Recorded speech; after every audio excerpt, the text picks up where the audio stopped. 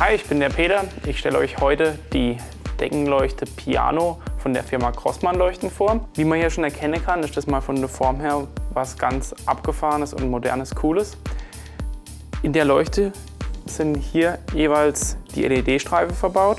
Die Leuchte gibt es in zwei Größen. Ich habe hier jetzt das größere Modell in der Hand, ca. 1,15 lang.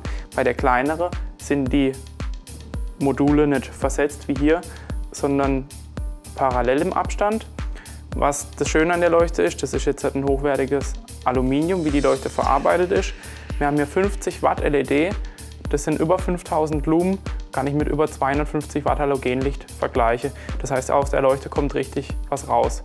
Ich empfehle die Leuchte immer in Küche oder im Wohnbereich, da wo ich es halt richtig hell brauche. Schlafzimmer wäre es mir jetzt persönlich etwas zu hell. Aber ist halt von der Form her mal was ganz Einzigartiges. Ich hoffe, das Video hat euch geholfen. Wenn ihr noch eine Frage habt, könnt ihr mir gerne eine Mail schreiben oder einen Kommentar.